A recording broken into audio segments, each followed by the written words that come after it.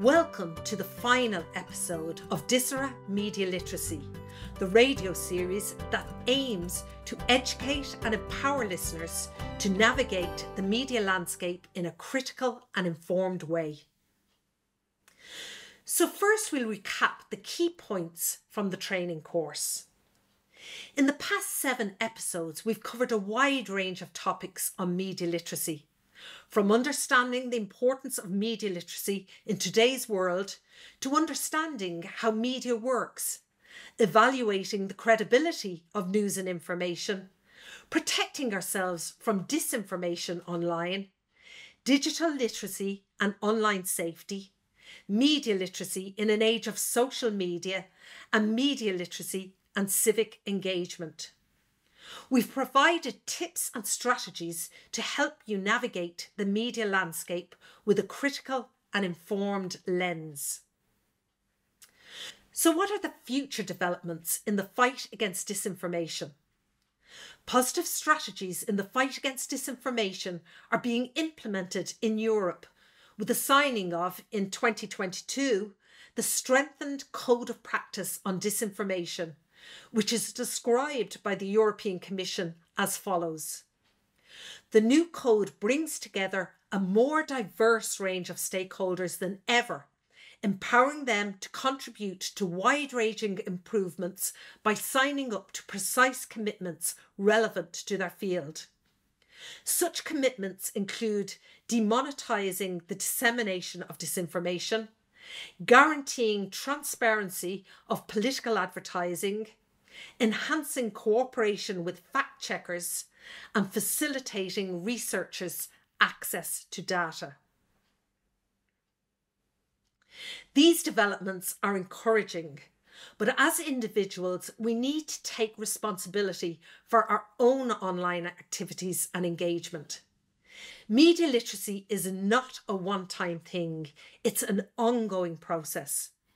It's important to continue learning, stay informed, and engage in critical thinking.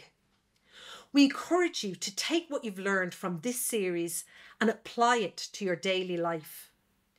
Remember to fact check information, be critical of the sources, and seek out diverse perspectives. There are many resources available to help you continue your media literacy journey. Here are a few. There are fact checking websites such as Snopes, factcheck.org, and PolitiFact. Media literacy organisations such as the Centre for Media Literacy, the Poynter Institute, the Media Literacy Project, and many more, which you can find links to on our website. Media literacy education resources such as Media Smarts, MediaWise, and the News Literacy Project. We hope you found this series informative and helpful. Thank you for listening to DiSeRA Media Literacy. Remember to stay informed, stay curious, and stay media literate. Okay, um, so in our final lessons, we discussed the key points from over the past seven sessions. Um, and in that, we also looked at the regulations being introduced to strengthen the code of practice on disinformation. How important do you think it is to have a code of practice? um, you know, I, I, I, think I think that it's essential to uh, it's really essential to, to, to do that. I think um, one of the difficulties is that we're in such a changing landscape that um, you're trying to future proof stuff. You're trying to put in codes of practice that that um, you know are for things that you might not be able to even envisage now you know? So i think it's important to have something that that can be revisited you know something that's agile and that can be reshaped and revisited i think. It's really important to have um, some sort of um, a body in place that is constantly looking at this and constantly seeing what's coming down the line and, and seeing the dangers that, that are there. Um, and I think we see that we, we had the Broadcasting Authority of Ireland um, for the last good number of years, and uh, they were responsible for. Um, uh, you know, advertising. Um, if somebody had a complaint about advertising, they went to the BAI. Uh, they were in, they were about licensing radio stations like this one or TV stations, all of that kind of thing. Um, and they've just completely now had to change. And we now have uh, Commission Naman, which is the, the Media Commission of Ireland, mm. to take in this entire whole uh, landscape now of social media and I think one of the things with um, the Broadcasting Authority of Ireland is they were they were dealing with radio and they were dealing with television. Um, now now you've got this incredible online space where uh, it's almost like radio and television are the two ears on, on the outside of the head. You know what I mean? Yeah. Um, so so that's going to be very uh, very interesting space um, to watch. Um, and they're the ones I think who have this task on hand in Ireland, mm. at least. So um, uh, I think there's some some very good people uh, at work in there. So uh, I, I, I'm I'm hopeful that that, uh, but I don't envy them. you know. Good job, Fiona. Well, I agree with uh, everything Declan said, and one of the things I, I used to do is I used to teach um, social media to parents and teachers, particularly in relation to cyberbullying, awareness of it, what it is, how to prevent it, how to keep their kids safe. Because the kids themselves, they're too young to really understand what could, to maybe uh, anticipate that bullying can happen and then when it happens what to do about it. So the idea is to try and protect people by uh, uh, uh parents are if they get education in social media they're going to be capable of offsetting it to some point at um, being able to anticipate it. Uh, so it was those kind of tips and one of the things that we i taught was have a code of conduct with your kids and have a have a policy in place with your kids how long they can have their phones for or tablets for during the day, uh, what platforms they can be on, uh, a whole load of things like this. And if they break the rules, the consequences are in the policy. So if they break the rules and, for example, go onto a platform they're not supposed to be on, they have to do, deal with consequences, which might be giving up their phone for a day or a week uh, which is, as we know, is a very long time for kids. They can't even survive five minutes without them. Um, and it's it's all of that kind of thing. It teaches them responsibility. Mm. Uh, and and consequences in terms of social media. It's not just something to play with. There are serious consequences based on the way it's used, based on the risks associated with it. So having this this policy makes the kids take responsibility as well as the adults, and everyone is safer and everyone uses it better. Yeah, that's very um, like it's something um, that I think you know it it it needs to be done. I, I notice as well some of the work I've done in schools.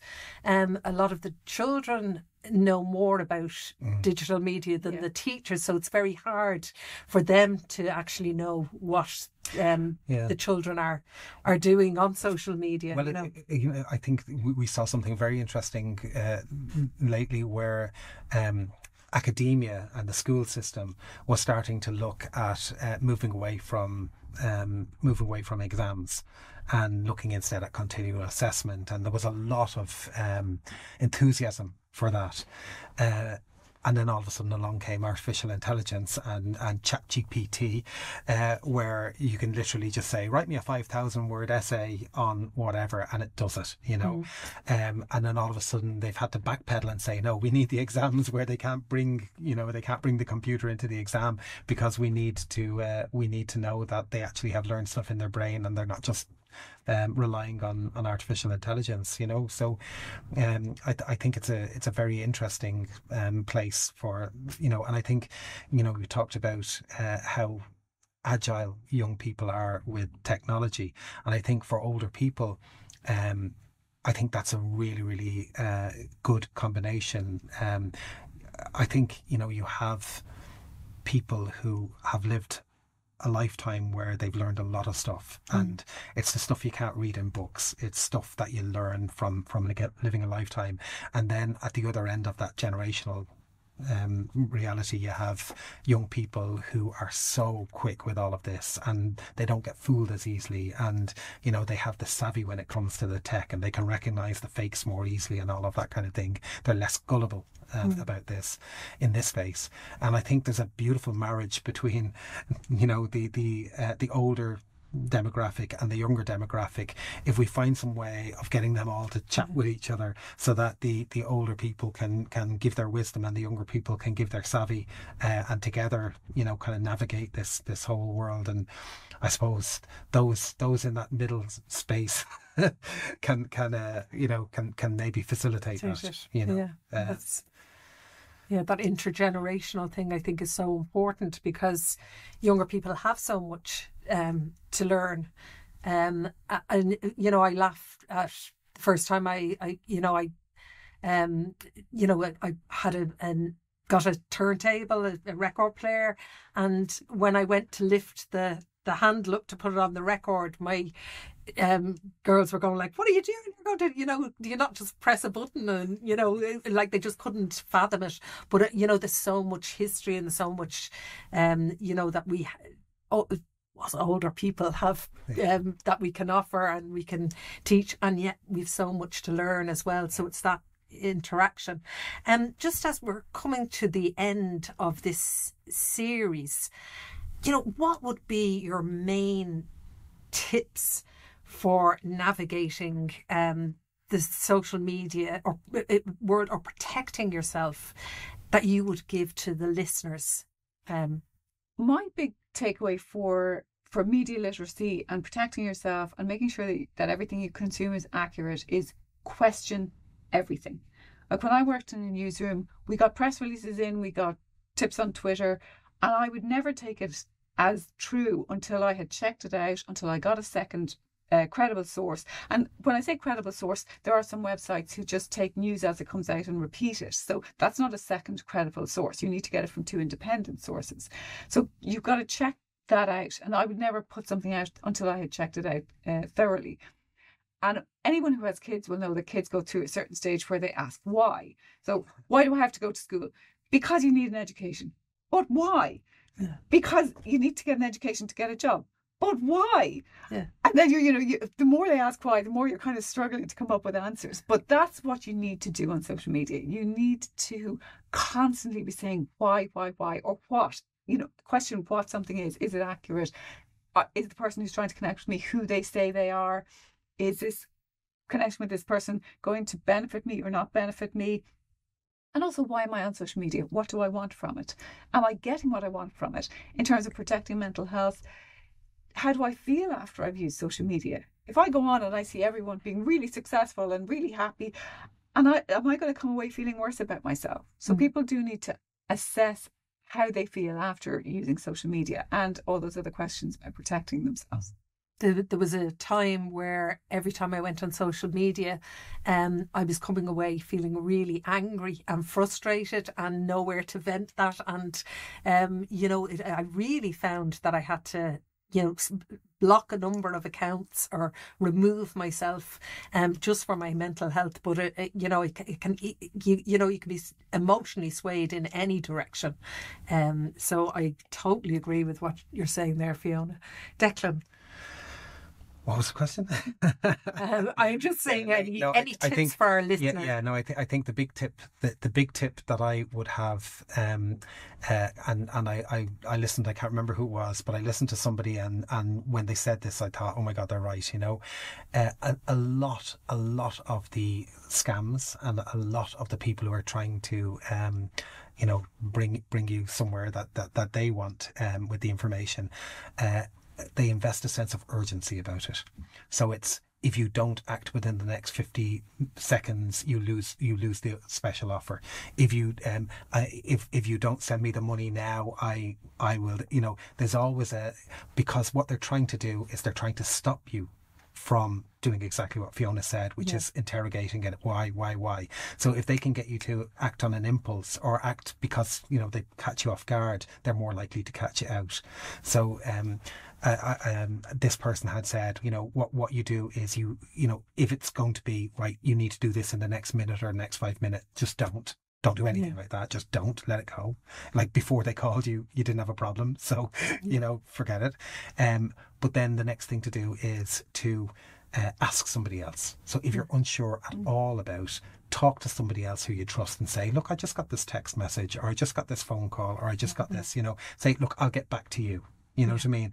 So don't ever just react immediately and sign away something or or do something. Yeah, and it is Stop. that and it's trying to instill panic in people, you know, when you do Yeah. feel like have to react, you know. that that's you know there, there there'll always be a scenario where you know I'm I'm I'm in terrible trouble you know you have to save me now or else we're giving you this massive opportunity but but you know you know if, if these things are real they'll still be there you know an hour later you know what I mean um so I think that was a big one for me because um after after I had heard that I noticed that every kind of scam I got you know, sent that came my way had that sense of trying to catch you off guard and trying to make you react before you have time to think and realize that it's a scam.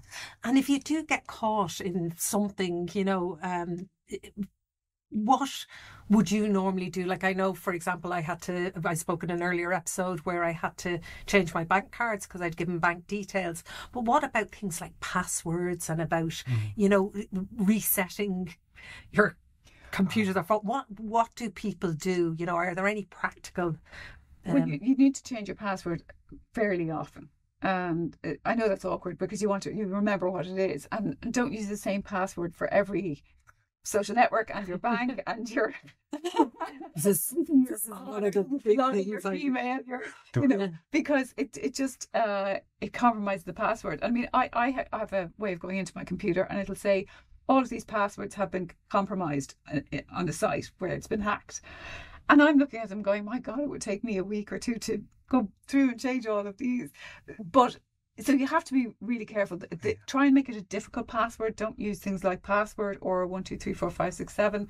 Um, try and think of a string of characters you might remember. So, for example, if you were born in 1943, you could have B43 and then a symbol like a hyphen. And then if you were married in 67, you could have mar- M67 and then maybe a forward slash and then uh, maybe your initials. You know, if you were, um, uh, you know, Mary McCondron, you know, you could be MCCC or, you know, they're two, they're two alike, but, you know, pick different ones.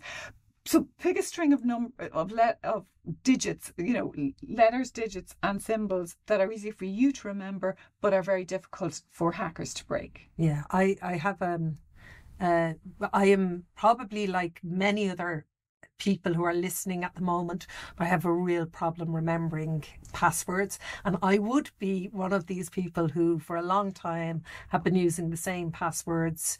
Um I did even at one point have like a one, two, three ABC one, two, three, four ABC, you know, very basic Another, well, another tip about that is firstly, I think you need to have a lot of different passwords if you're on a lot of different things. Yeah. You need to have that in a file somewhere. So have a printed file in a locked Slate. drawer or somewhere or filing cabinet in your house. And on your computer, you can password protect that document. So, for example, if I need my if my Mac is in trouble and I need to bring it to somebody to service it, I don't want them getting access to my document with passwords on it. So I have it locked. Yeah, yeah, that's a But good good the, tip. the other thing as well is to um is to hide you know if you have to write stuff down don't just write it down you know like so for example um if there's a six if there's a six number if there's six numbers that I need I'll I'll I'll make it into a phone number so um I'll you know so just say it's six numbers I need for an account to do with my membership of a boat club or something like that. I'll I'll say Billy Fisher, you know, Fisher as in boat, and then 086 and then the six numbers. So it just looks like Billy Fisher's phone number. But I know I don't know a Billy Fisher. Fisher is boat, so that's the boat club. You Yeah. know what I mean? yeah. So so hide it. That's So don't just don't just write the numbers down or don't write the numbers down. Hide it where you know, yeah. but where anyone else just looks like a phone number. You know. The the other thing I found with my cognitive decline as I'm getting older is if I make now this is what I've now been doing, which I think is fairly, um, you know, it's the way I've got round that trying to remember numbers is I'll think of um, either a holiday destination or an occasion or something, and I will write the name of the country, the name of the place, the year, and then just with a height. Exclamation mark. exclamation mark. So I'm getting in your, you know, your numbers, your letters, and your characters, um, but it's something that I know that I'm going to remember. Um, so it's things like that. Trying to something that will be easy for you, but quite difficult for And anybody else. that's another tip actually, because sometimes now they're asking you for a symbol. Yeah. Um, so what I do is I'll make it an email address. because an email address looks like an email address, but it's actually a password. So Johnny67 at whatever dot com looks like an email address, but that's actually the password because it's giving you your numbers, it's giving you your letters, Yes, and it's good tip. well. Good tip. Now everybody knows something. Yeah, they are. you don't know my destinations of holidays, hopefully. Um, so, I mean, we've come to the end of what has been a very, very interesting series of discussions, and I know we could go on about this for so long and I know we haven't probably even touched the tip of the iceberg but I hope that it's been of some help to our listeners. And you can go back again and again to look over these lessons um, and also we will be providing links to any of the um, organisations we've mentioned and also to the DiSeRA project um, which you can um, follow and get updates from. So thank you, Declan, and Thank thank, you, Fiona. It's been a pleasure being involved in this project. Thank you.